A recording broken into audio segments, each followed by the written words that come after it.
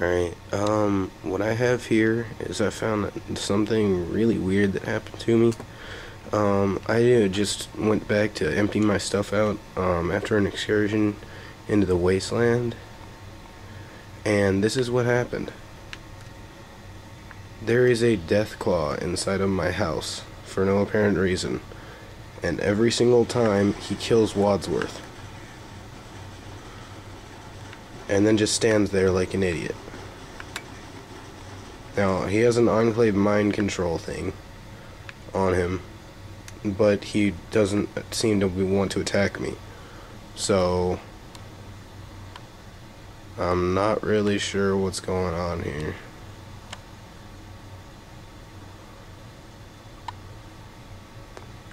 It might have something to do with the fact that I did just do, um, or start the quest which gave me the Deathclaw control scrambler but I'm not really sure why this would make one appear in my house and attack my robot and do nothing else. Fawkes doesn't seem to care either.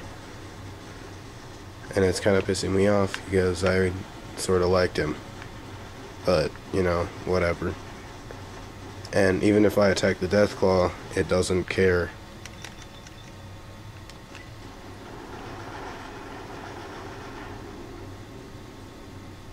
And it's still not doing anything. So if anybody has any idea what the hell this is, uh, try and let me know. Thanks.